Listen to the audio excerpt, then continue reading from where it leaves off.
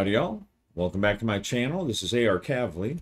Today we're going to do a review of the D100 streamlined game called Simple Quest. This is by D101 Games who make Open Quest and this is the streamlined cut down version of that game. Recently they put out a third edition of their Open Quest game but uh, I, I didn't back it, but I did decide to get one of these smaller copies just because I like that. I like that size, and D100 systems are probably one of my top three. So let's go ahead and take a look, see what's going on over there.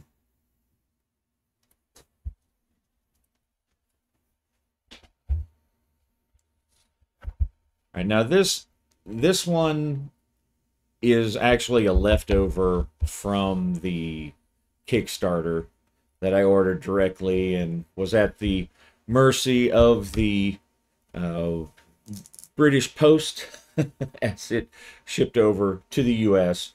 But the ones that you can order to get the, the print on demand, they're I'm sure they look about the same. They may not be color inside, and they may not have this fancy ribbon, and they Books always get a plus one for a ribbon uh, from me. And as you can see on the inside, Newt Newport, he gave me a he gave me a smiley face. I don't know if uh, if the British have a announcer voice, but Newt Newport kind of sounds like a like a TV anchor or something. This is Newt Newport from D101 Games today, covering all the latest news that you need to know in the RPG industry. But the book itself is uh, pretty well made, pretty sturdy. It has, at least on the back, uh, it has info on the on the back, which is actually part of a, a scenario that comes with the game itself. The artwork inside is pretty good. Uh, it has color artwork. One or two of the pieces seem a little anachronistic maybe. Uh, but having having put some books together myself, you know, sometimes you don't have you don't have complete control over what kind of art you use. Now it's very, like I said, it's very streamlined. It's D100, and if you know, if you're familiar with D100 or the basic role playing slash RuneQuest slash Mythras, most of this will be very familiar. You have your typical attributes, strength, constitution, size, dexterity, intelligence, power, charisma. And you have a bonus for extra damage if you're big enough and strong enough. And it's a simple D100 system, which I like because they're uh, very intuitive. Each it has a cut down selection of skills like a lot of mo uh, modern streamlined games do, where they put e each skill covers a broader range of abilities than you know something like say Traveller, you know early editions of Traveller, um, earlier editions of well even of of RuneQuest, where you had more skills, more specific skills in my opinion, that works that works better in more primitive settings. Just because primitive people tended to have a wider skill set. We're much more specialized today. And they're basic, you know, they start with an attribute. It tells you what the base is. That's what you start with that skill. And then, and so it's, you know, it's 3 dice 6 to roll your stats. Um, and then you have a certain number of points to spend on the skills. And that's where it talks about right here. This uses the skills for resistance. So you, if you're trying to make like a saving throw, it's actually a skill. And you spend, each one has a base, and you spend 50 points between the three. skills as they're broken up. So everyone starts with those. Magic in this game, the, the game itself does not come with a default setting per se, or at least no specifics about that setting, except that this adopts one of the early RuneQuest ideas that everybody knows a little bit of magic. I don't I'm not really that's not really my preferred, so you, it's easy enough to cut out. Um, I prefer magic always to be kind of rare and usually dangerous personally, but that is definitely in you know in in the cake baked in the cake of early RuneQuest. Everyone could use little spells. And when you start, you do everyone starts with I think three spells and you don't get to buy those right up front. Everyone has a skill for casting all their spells. Not each spell does not have a, its own skill. You have a magic skill, and that starts as power three.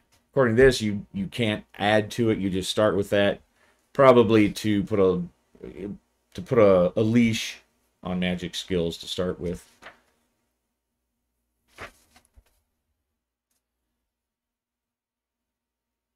So it has the basic uh, starting packages, which are handy. Um, there's no classes,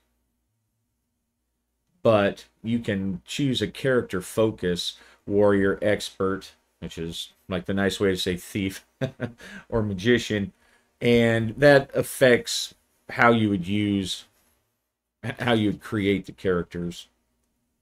And they're optional. You don't have to use those. They are optional. Uh, it uses a uh, growth, uh, what they call them, not growth points, but um, it doesn't use direct XPs. Uh, you get growth points for accomplishing goals, basically. It can be specific goals, the GM can award them. And I, I kind of prefer that than just straight on numbers for XPs. Um, because it gives the GM a little more f- flow control, if you will, about maybe how fast characters gain. And since this doesn't have levels, it's, you know, it doesn't quite equate. Whereas in like OSR, D20 type games, at least, you know, some of the older ones, how many experience points you needed to get to the next level was often a consideration, right? You might you might pick a class that requires fewer to gain levels, but this has no levels. A little chart about how many uh, per growth point, or, or yeah, growth point, and each this is how much it costs to raise it by five percent. That skill and that's based on the uh, current skill. So of course that, you know, the more skilled you are, the harder it is to, to skill up.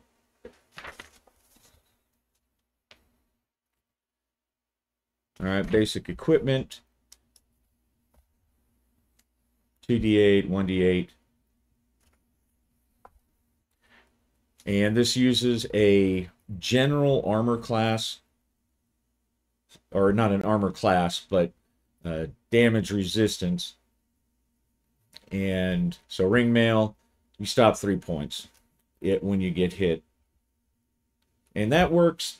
I think that works pretty well to have the general, because a lot of people I know don't like recording information on a body part by body part basis, although that was one of the things I always liked about, uh, see, I guess it was RuneQuest second edition uh, that I got back in the 80s.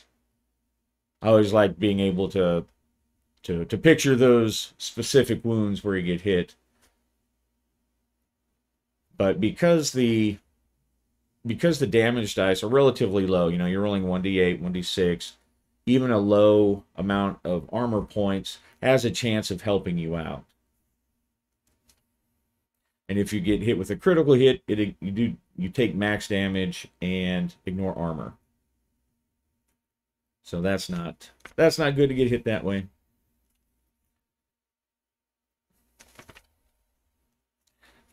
Standard equipment.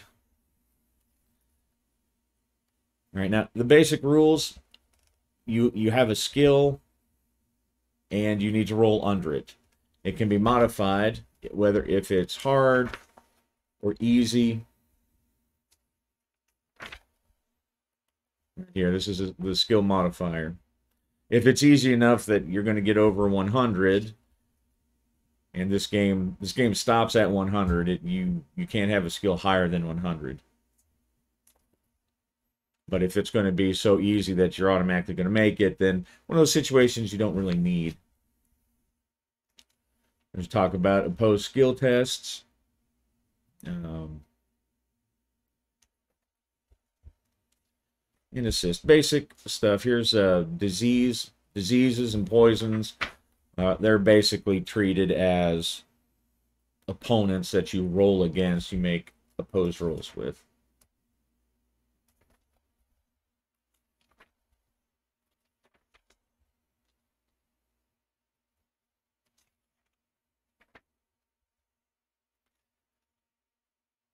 Combat is un um, or should be familiar to everyone who's that but you have one action that you can take.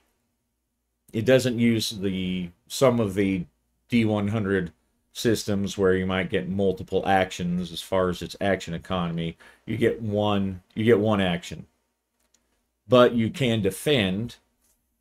So they roll their skill to hit you and then you roll your skill to either dodge or parry.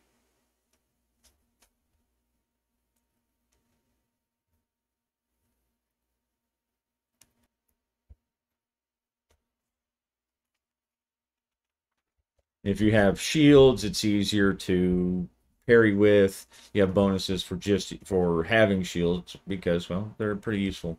It's easier to defend and you can defend against multiple people easier.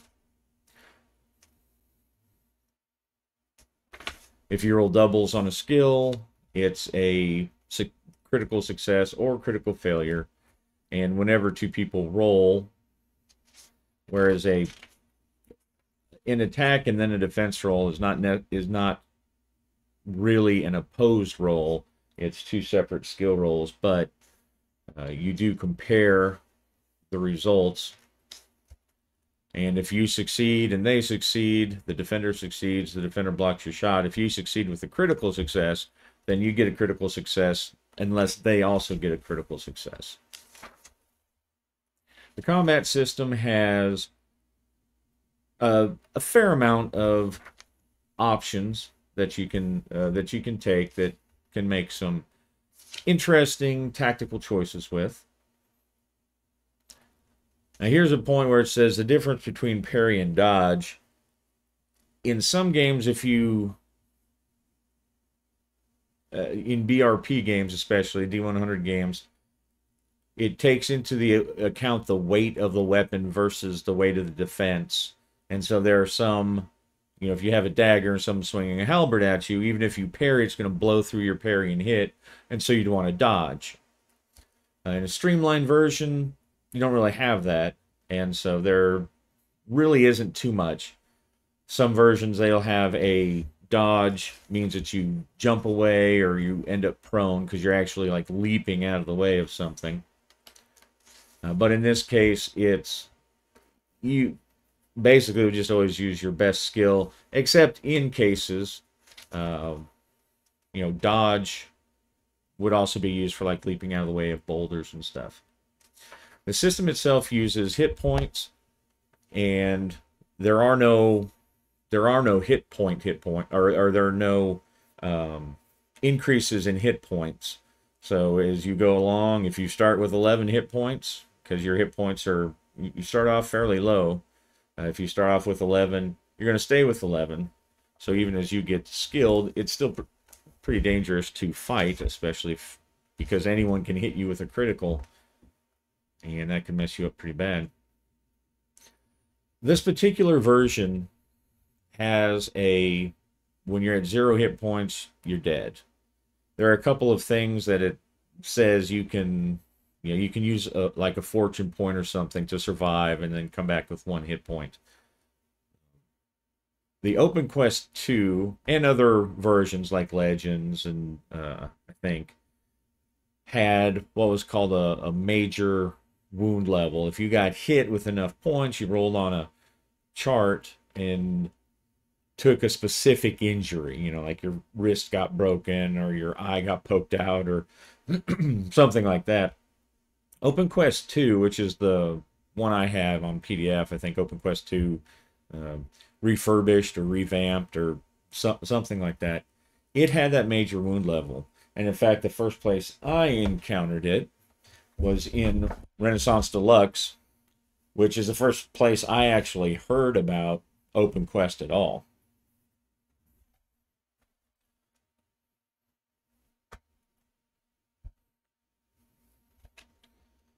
and it had that major wound level. And I thought that was a it was a pretty good way to add some distinct hits to a system that just uses hit points.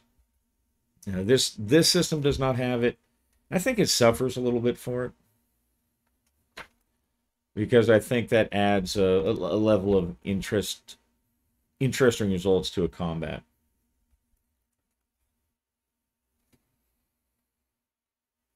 and it looks like it might have been involved at one point, or maybe it got uh, cut and paste because here it talks about stabilizing mortal wounds, but in this game system, when you're down to zero, you're dead unless you use the fortune point, and then you're not at zero hit points. You're at one hit point. So I think maybe it was maybe included, but that's not how it works now. You hit zero hit points and you're dead, which, you know, for a streamlined game is not necessarily a, a bad game design choice.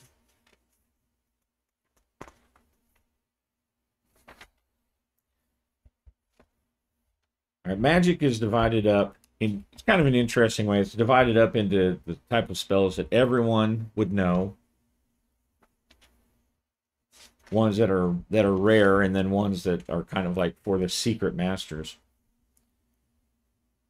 There are no powerpoints or really any limitations to casting the spells as you know as far as how many spells you can cast a day or running out of power. Um, not quite sure how i how i feel about that it does make it you know maybe more simple to run and then generally speaking, people's casting is down, but or is at a lower skill level. Um, but I don't. I don't know. It seems like it would be maybe kind of easy to once you once you get to a certain skill level, really dominate if you had the right skill that you could just cast over and over.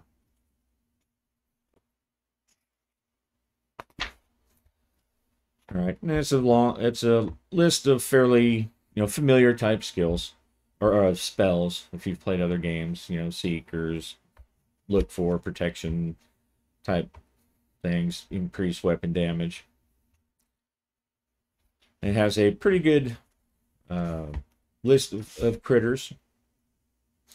And one thing that that I like is that the the stat blocks are are slimmed down. They don't in most of your D100 type games. They have all the creatures' average stats and what you'd roll for them. Um, I know I never really use those. I just use always the average.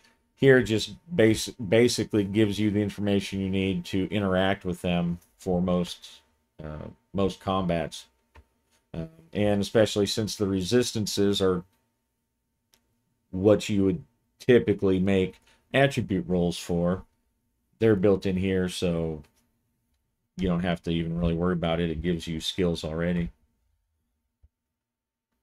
And it has a good a good mix of critters. Bigger critters are tough.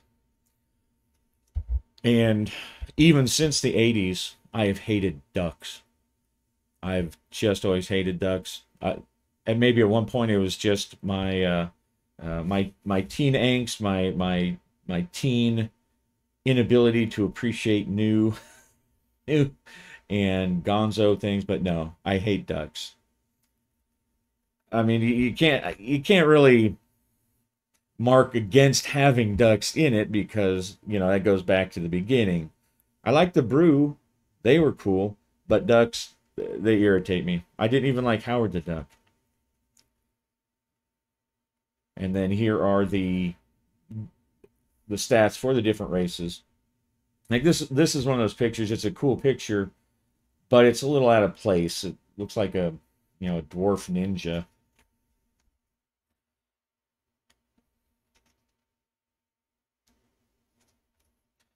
But the artwork's pretty pretty good throughout the uh, the beastry.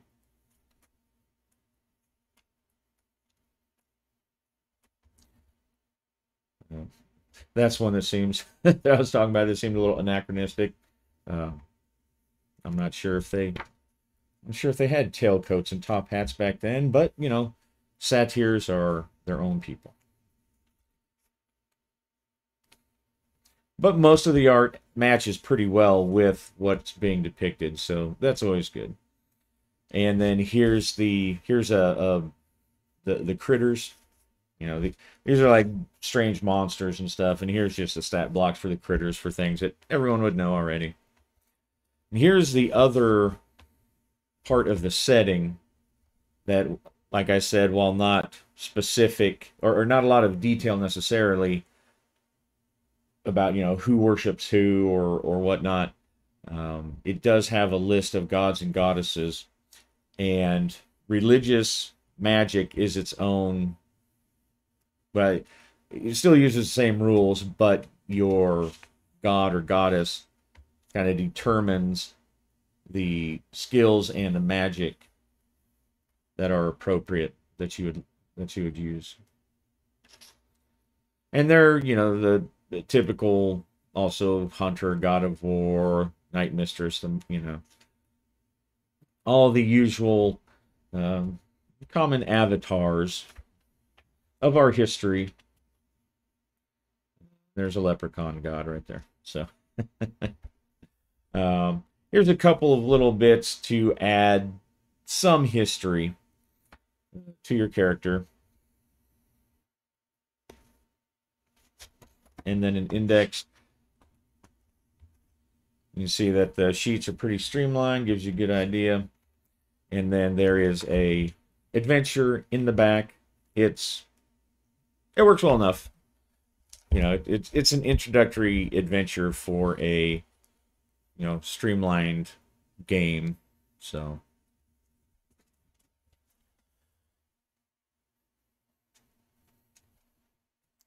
All right, so that's my review of Simple Quest. I like it pretty well. Um, some of the options, some of the combat options had been reduced and I think I think they didn't really need to be taken out of there. The the the, the note in the book talked about how they required a, a, better understanding of the game, which is not doesn't have the full rules.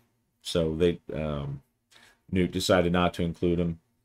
Um, I think they probably, for myself, I think I would have liked to have a, a couple of more options because you can be streamlined without uh, killing everything. Uh, but I think I think overall it was a pretty good, pretty good cutting down because you know there's always the question of what do you cut down, what do you keep if you're trying to streamline something. Uh, so I think it's pretty well done, and the the benefit of having that is that it's very easy to add modules to a D100 game. You know, I could go and I could pull the the major wound levels from this or from Open Quest 2, whatever, and just use them and make that determination, just incorporate them into the game. And because they're so uh, consistent, they're so or interchangeable, it's easy enough to do. So if you wanted to add back some actions, if you want even to change with the, you know, mess around with the action economy or add weapon size, it's very easy to put those things in. Of course, the simple quest, you know, it's not really designed to those. It's designed to have a, a, a quick and easy, just roll and fight kind of back uh, system. And I think it does pretty well. I like it. Simple Quest by D101 Games. I'll put the links and everything down in the description. And uh, hope the review was helpful. Happy gaming.